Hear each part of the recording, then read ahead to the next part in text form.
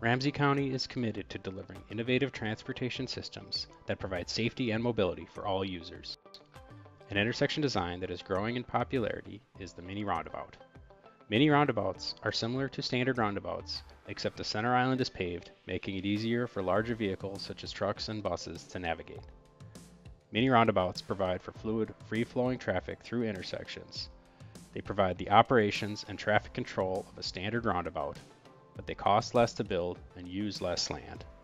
They also improve safety for pedestrians, bicyclists, and motorists by reducing speeds and creating less conflict points within the intersection. The benefits of a mini roundabout align with Ramsey County's All Abilities Transportation Plan, which places a higher priority on pedestrian and bicycle safety and access.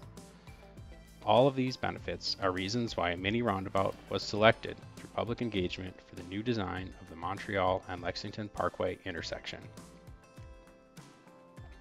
While many roundabouts have been built across Minnesota, the intersection at Montreal and Lexington will be St. Paul's first roundabout. Within the roundabout, traffic travels in a counterclockwise direction around the center island.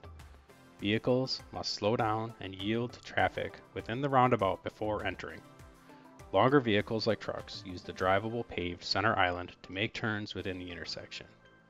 Pedestrians cross the intersection at dedicated crosswalk areas.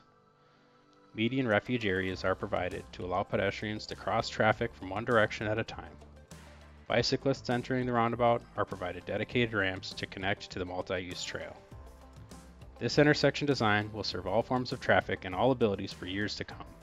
For more information and to subscribe to project updates, visit ramseycounty.us slash Lexington Extension.